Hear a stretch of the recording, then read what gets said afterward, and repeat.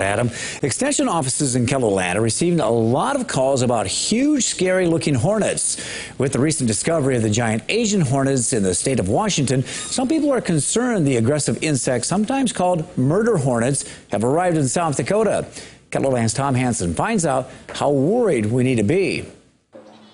Oh, I see the butterfly. Where do you see the butterfly? Madeline and Weston are fascinated by insects in the backyard. Are they scary at all sometimes? No, not no. No, They're not flies scary? aren't scary. Only if we be nice to them, though.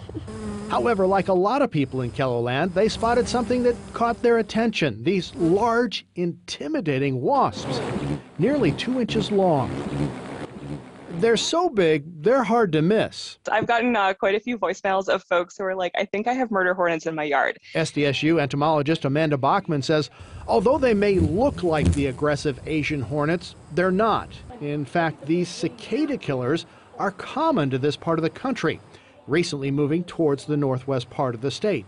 Cicada killers have, you know, sort of this distinctive banding pattern on their abdomen. They're not dangerous to people anyway. They actually hunt down the cicadas and uh, paralyze them and drag them back to the nests in the ground that they make in order to lay the eggs and then their grubs feed on the cicadas. Yellow jackets and paper wasps are much more menacing to humans.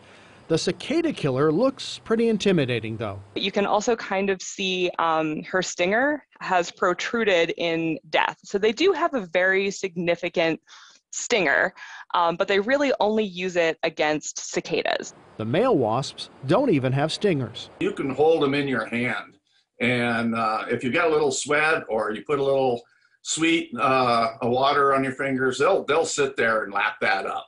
The bottom line the largest wasp found in South Dakota is actually one of the most docile, more interested in survival than in stinging us. Must be there's a lot of nectar.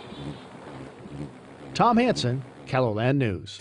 And there is a difference between wasps and hornets. Hornets are more aggressive because they live in hive like communities and can swarm people. Wasps are solitary and are more interested in food.